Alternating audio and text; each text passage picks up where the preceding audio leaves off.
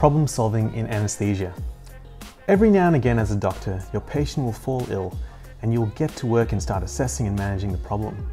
In most cases, the time between problem and something bad happening can take days to weeks, but under anesthesia, bad things can happen much faster. The time from action to disaster is much more rapid, from seconds to minutes. And when you're starting out as an anesthesia doctor, this can be a puzzle. All the complex and time critical management steps can be very tricky to learn. Your first steps off the mark can really make a substantial difference to the race to manage the problem. There's a big difference if you manage anaphylaxis in the first few seconds with adrenaline versus delaying it to a minute. There's a big difference in managing hypotension when it's 80 millimeters mercury rather than when it's fallen to 40 millimeters mercury. So I want to give you the little steps that you can train to become part of your reflex response and your muscle memory. So in this presentation, let's go through the puzzle of problem solving in anesthesia, and in the process give you the building blocks to make you safe, effective, and grow with future knowledge and experience. This framework should be able to work whether you're a junior anesthetist or an experienced anesthetist. As you get more experience, you'll be able to add layers to the underlying structure, now it's important to know that most of the time you'll be very well supervised, and if you're on your own, you will have to use your judgment. If you're not sure of something, it may be best to wait for help to arrive and make sure you first do no harm. The four phases we will explore when managing any intraoperative issue are safety, temporizing measures, diagnosis, and management. Safety is about doing a few critical things to mobilize resources and prevent further deterioration. I first call for help. This might mean pressing an emergency buzzer or getting someone to call your supervisor. You may need help in the form of more brains or more hands. Sometimes you need help with figuring out the problem, and other times there's just so many tasks that need to be done that you can solve the problem more rapidly with more people. Your threshold may depend on a number of things like your experience and the problem itself. But remember that even after a lot of experience, you never ever stop calling for help. There's always going to be a time when you have a diagnostic dilemma and need those extra brains or have a problem as complex as an arrest where you may need extra hands. Next, I will ask the surgeon to stop what they're doing. For example, the patient might develop a sudden tachycardia due to pain on incision, or a sudden severe bradycardia when insufflating the abdomen for laparoscopic surgery. Often this might be the only cause of a problem and the problem will resolve immediately when they stop operating. The most difficult part of this might actually be getting the confidence to tell a senior surgeon to stop what they're doing. This is difficult due to the hierarchies that exist and learning how to say this is half the battle. I would say something like, would you be able to stop for a minute? I'm not sure what's happening with the patient and I need to get some assistance. The first thing you learn in medical school about patient assessment is to check your environment and do a general inspection. Anesthesia is no different. I try to take in all the information at hand by stepping back and looking at the monitors, the patient, and what the surgical field looks like. Checking the monitors can give me a lot of context to the primary problem. If the blood pressure has fallen, is the patient tachycardic or bradycardic? Or are the oxygen saturations dropping at the same time and is this the first sign of anaphylaxis? You don't want to miss the extra cues. Glancing at the patient can give all manner of context as well. Does the patient have a rash? Is fluid regurgitating from the mouth? Or is the patient coughing? All these clues can fill in the missing pieces to your diagnostic puzzle.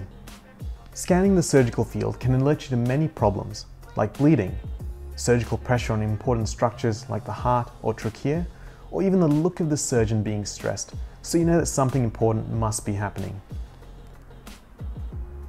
I also check the accuracy of my monitor. Unlike most other fields of medicine, we're incredibly reliant on our fancy monitors and machines. Imagine the blood pressure has suddenly increased, and you immediately start treating this with antihypertensive agents. But then you notice that the arterial line transducer has actually dropped to the ground. This is a critical error. The blood pressure is actually normal, but due to the transducer being lower than the heart, the blood pressure reading is artificially elevated. Likewise, oxygen saturations often read lower, but for no other reason than the finger probe is moving or the patient has poor perfusion to their finger. You must confirm a reading before treating the patient.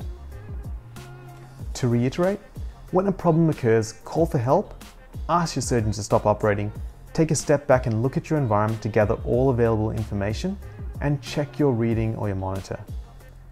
This is the basis of commencing a treatment and solving each problem as it occurs.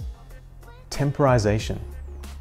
These are the initial measures you can action even with only a few months of experience to prevent deterioration and stabilize things while waiting for assistance to arrive. Warning, remember to use your judgment and only do the actions that you're familiar with. If you have never given a medication before or done a specific maneuver, you probably shouldn't do it for the first time unsupervised. But even in your first few weeks of anesthesia, you can still be very helpful by getting things ready, even if you're not familiar with giving the medication or the specific intervention. For example, if the patient is hypotensive, you might call for help, give a small fluid bolus, and then have the vasopressor ready for your supervisor to treat with.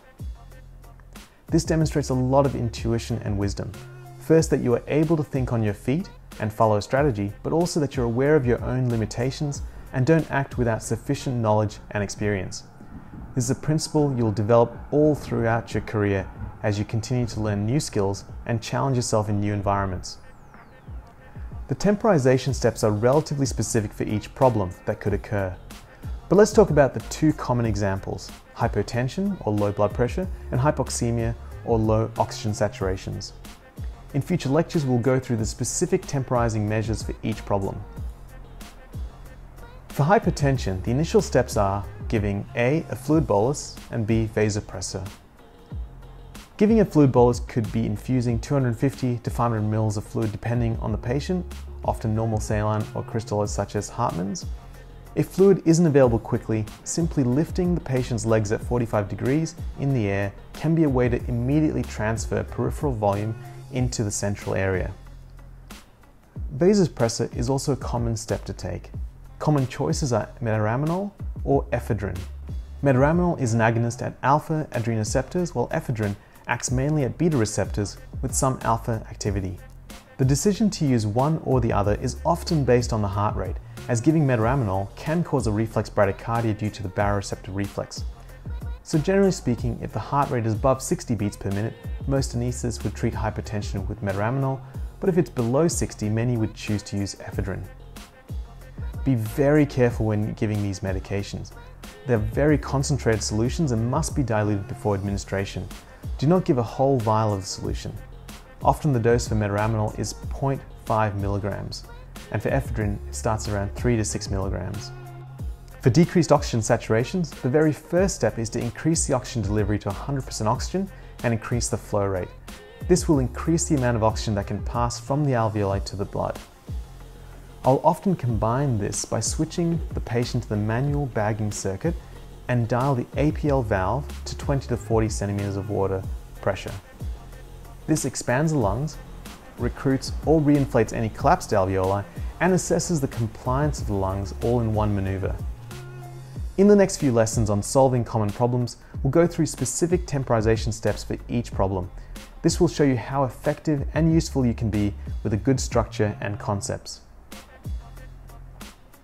The common problems that are best to start with are hypotension, hypertension, tachycardia, bradycardia, hypoxemia, and high ventilating pressures.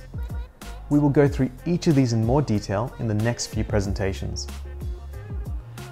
I hope you enjoyed this video. Please post any questions or comments below and see you next time.